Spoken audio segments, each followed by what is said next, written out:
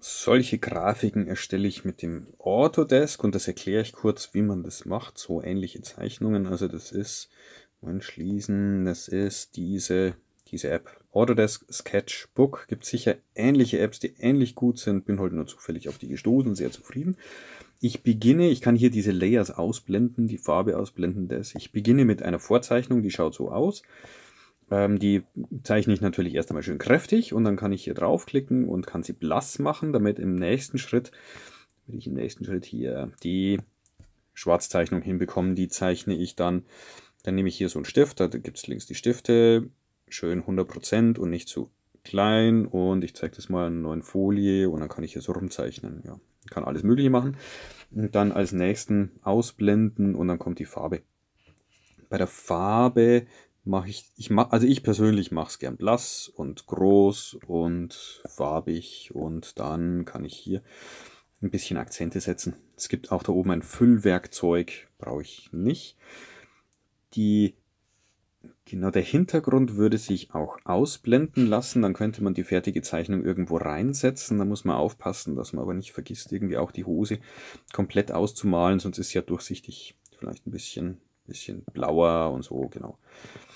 Und dann kann man die, diesen Lehrer auf irgendeinen Hintergrund setzen.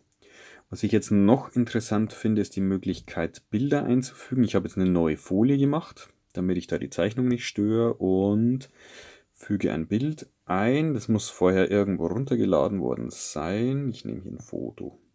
Genau, das hier. Und das will ich anpassen. Das soll auf die Tafel. Genau.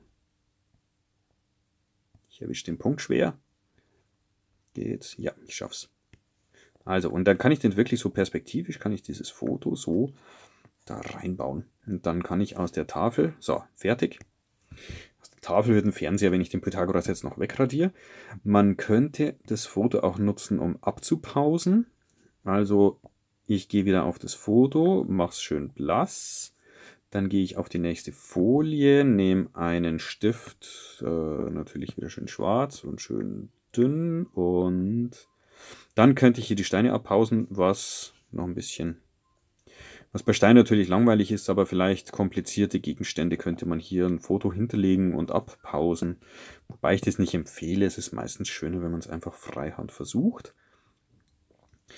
Und da am Schluss eben hier auf Teilen klicken, teilen, dann kann man es speichern und bei andere kann man dieses dann exportieren und verwenden, sich per E-Mail schicken, auf irgendeine Cloud hinladen und fertig. Die anderen Werkzeuge einfach ausprobieren. Man kommt schnell zu Ergebnissen. Es, es lohnt sich auch, äh, wenn man fünf ähnliche Zeichnungen hat, bei denen immer nur eine Person sich ändert, weil man was erzählen möchte. Dann kann die wieder, man hat hier mehrere Möglichkeiten für Layers, kann man hier was ändern. Jawohl.